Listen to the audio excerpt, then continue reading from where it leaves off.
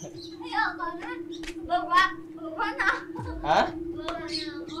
Kailan ito na. Kaya, kaya naman kita eh. Ibigat ako eh. Hindi, hindi ka magbigat. Ah. Yan, dito na tayo. Lapit na. Ah. Baba na ako. Pero pagdating sa bahay, dito na raw naganap ang panggagahasa. Ang gusto mo? Merienda gusto mo? She was lured na sumama sa kanya doon sa inuupahan. At that point, nakita niya, tinake advantage niya yung situation. So, magkaroon nga ng rape na case. Parang init ah.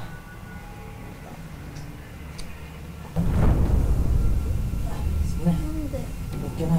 Sige na, itaas mo na yan. Ayoko. Sige na, itaas mo na.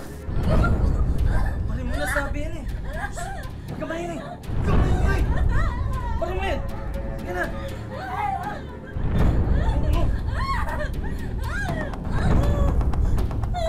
Hindi ko po siya kaya. Isang tulak lang po sa akin.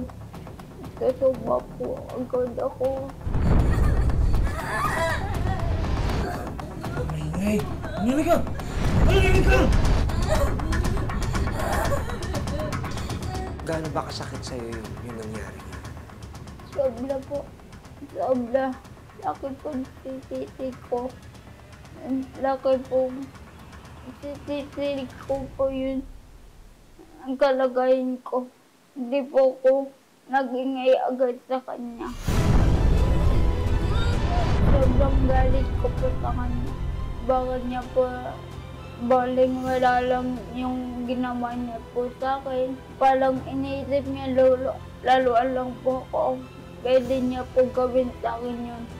Pagkat di po ko nagsusumbong sa magulang ko, gagawin niya po yun. Hindi pwede yun. Tao din ako, pwede ako mag magsumbong. Tao ka lang din nasaktan. Sasaktan din po ako. Tao din ako pala pa. Hindi napigilan ni Sally na sugurin ang suspect na umabuso sa anak. Kung nung una, itinanggi ni Balong ang paratang, Balong!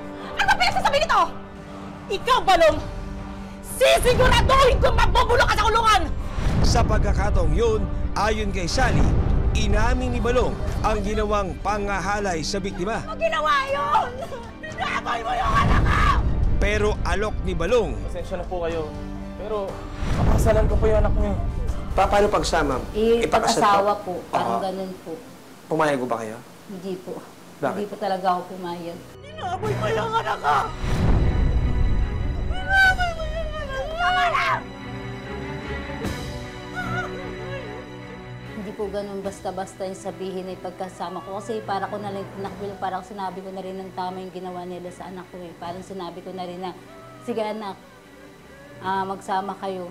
Tanggapin mo yung ginawa niya sa'yo. Para hindi naman po po yung nanay po, napaka sakit po nun. So hindi ko po yun kayang tanggapin. sinampahan ng kasong qualified rape si Moreno Halpak Jr. alias Balong. Desidido sina Sally na ituloy ang kaso laban sa suspect.